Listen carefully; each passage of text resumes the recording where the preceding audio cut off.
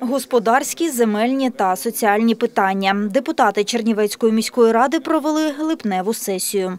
Чергове засідання міської ради розпочали зі звернення представників громадської організації Крик душі. Вони закликали депутатів закупити для військових необхідне обладнання.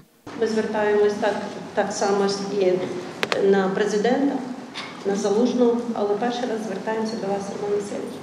Тому що я знаю, дуже гарно всім дякую. Я знаю, що ви допомагаєте, але е, зараз всі у відпустках. Ви всі знаєте нас. Ми з 2014 року працюємо.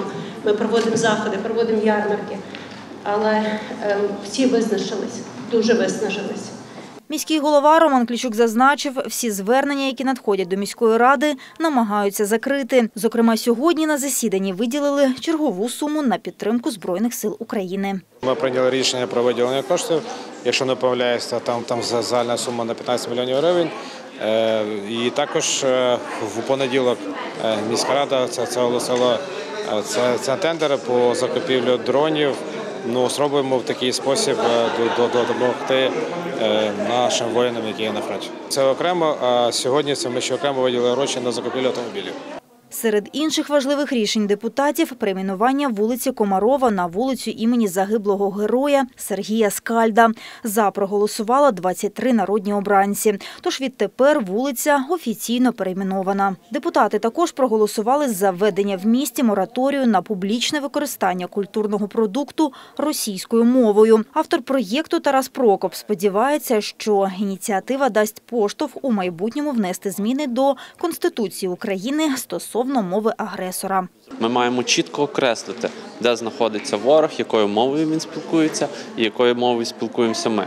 Наразі е, такий мораторій, як ми е, приймаємо сьогодні, прийняла Київська міська рада. Якщо ще інші міські ради так само почнуть приймати подібні мораторії, е, це можливо ляже в подальшому в законодавчу ініціативу, яка заборонить використання такого культурного російського культурного продукту по території всієї України, і тоді за це будуть вводитися відповідні е, санкції чи штрафи.